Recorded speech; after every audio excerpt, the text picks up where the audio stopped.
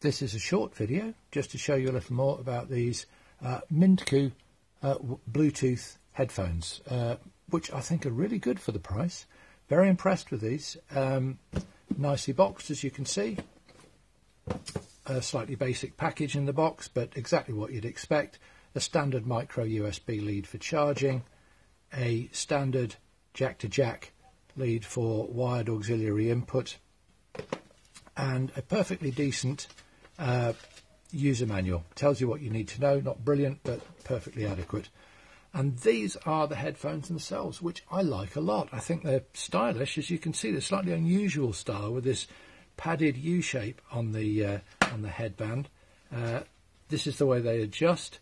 They look very good, I think. They're on earphones, as you can see, with the smaller cups. I think they fit very well. They're very comfortable.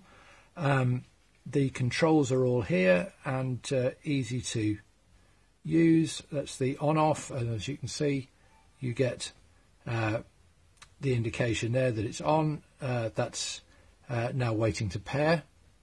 Um, and there it has paired with my phone because I've been testing them. And then these are what you'd expect. Uh, skip forward and skip back, which also serve as volume up and down. Uh, pause, play, and phone controls there. Perfectly adequate microphone. Just uh, nice and nice stylish uh, look to them, I think. I'll just turn them off. There we go.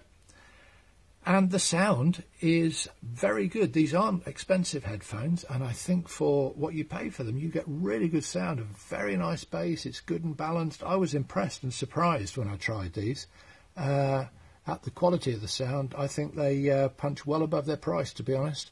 Uh, so if you're looking for a, a good quality pair of uh, reasonably everyday headphones, I can recommend these. I think they're really nice.